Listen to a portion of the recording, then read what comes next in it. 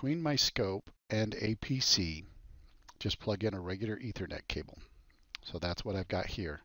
So I'm actually running the eScope and I'm going to show you how that goes. So once you've plugged in the Ethernet cable between the scope and the PC and you start the scope up after the Ethernet cable is plugged in, under the utility menu you go to I.O.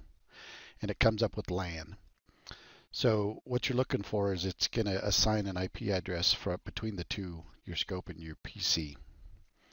Uh, once you get an IP address here, you'll hit test connection, and when that says OK and is green, take this IP address and you punch it into a browser on the PC, and that gives you this screen.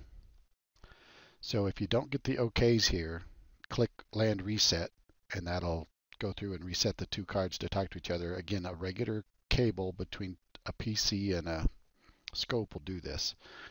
Um, get you this connection. Then again, take that IP address, punch it in, and you get this talk listener. And from the talk listener, if you click on eScope, that's what this screen is.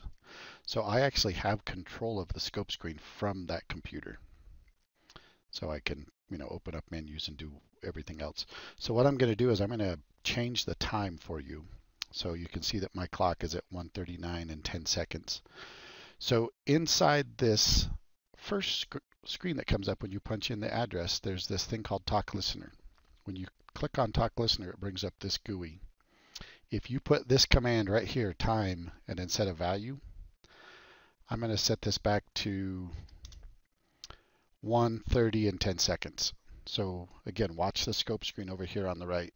As soon as I send that command to the scope, I get it to 130 in 10 seconds. It's like, okay, I want to set this back to 140 because that's the time it will be by the time I get it sent back. So you can synchronize these things all the way down to the second if that's what you need to do. So take that and send it. And now the scope is at 140. So hopefully this helps with the time setting. Um, again, the you don't have to have IP and all that kind of stuff. You do have to have a computer. You can plug a network cable between the computer and the scope. And the scope will again, in the I.O., they'll negotiate if you've got this network address set to auto, tell it to reset the LAN. It'll go out and it'll reset and you can see it's applying the changes. And depending on the, again, the network setup and the, you know, the card between them, they figure out and negotiate an address and it comes okay and I click test. And again, I take this address 192.168.1.23.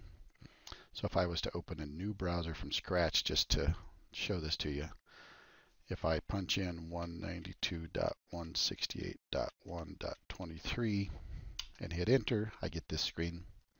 Again, that's the one where I clicked on talk listener. And then you take and put that time command in and send and bing, set. And if you want to see the scope, what's going on with it, you can remotely connect it. And this is all built into the four, fives, and sixes. Hopefully this helps.